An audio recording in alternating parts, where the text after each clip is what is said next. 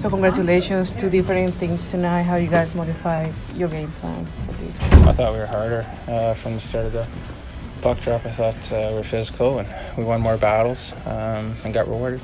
Your first goal tonight as how do you feel?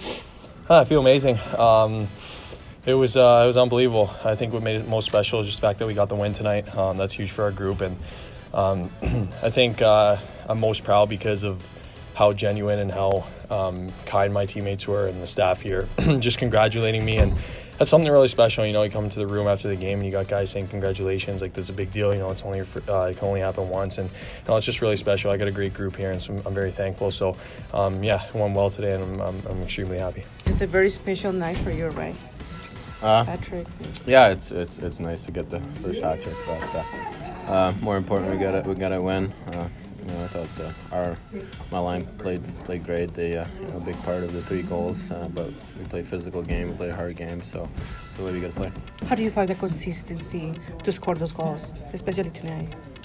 Yeah, it's it's a hard league to, to score. Uh, you got to go in the dirty areas uh, tonight. Like I said, uh, great setups by my teammates uh, to find me in, in open spaces, and uh, yeah, tonight was uh, good to go back in the net with the pucks. How are you going to remember this moment in the future?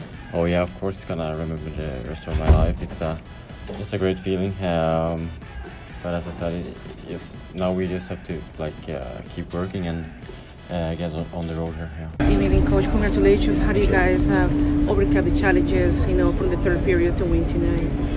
Well, I thought we uh, we, we kept our poise. We um, you know did some good things. Even they uh, they came out to start the third period. and We gave up a power play goal. Um, you know, in the very next shift we scored. Timo was, I believe, second goal of the game. So that was important. That uh, um, that that that bounce back. And we talked about it. Um, you know, even at the uh, in the middle of the third period when they were coming at us a little bit, and uh, uh, in parts of the second period, we, you know, they're going to push. They're down. Other teams are going to have pushes, and it's just how we deal with the momentum. And I thought we did a way better job tonight of uh, managing the puck and not turning pucks over. Um, you know, and, and, and being heavy. You could see uh, the message we sent this morning about you know, identity and, and, and the things how we want to play and we want to be a harder team to play against. I thought we were um, a heck of a lot more physical. We were on the body. I think uh, after one, I think we were 17-4 uh, in hits, and that's that's got to be a staple of our game. We're not a flashy team. We got to work, work teams.